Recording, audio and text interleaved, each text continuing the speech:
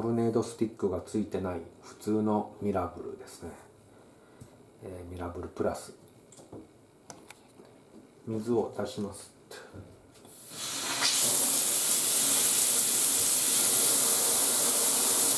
これがマックス水が出てる時のストレート。の水量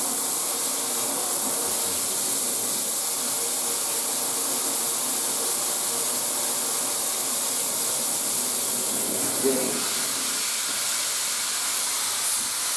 れがマックス水が出てる時のウルトラファインバブルが出てる時の水量。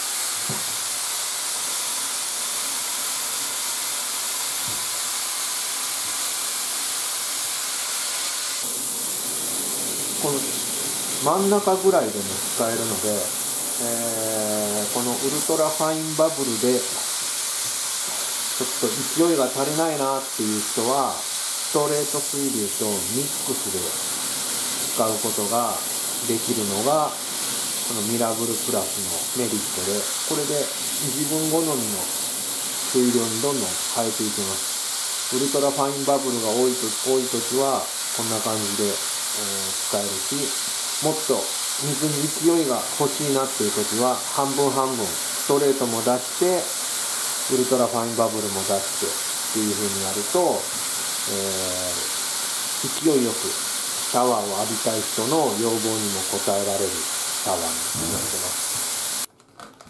はい。じゃあ次に、えー、ミラブルのトルネードスティックを刺して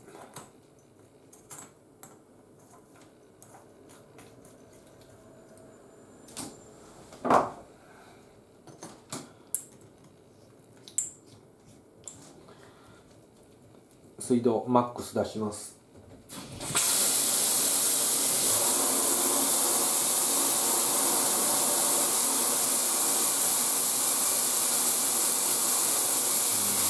あんまり変わってない。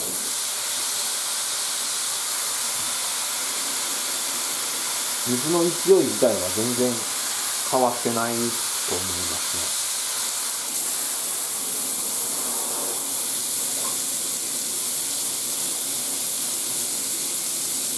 ちょっとだけ勢い強い感じはしますけど。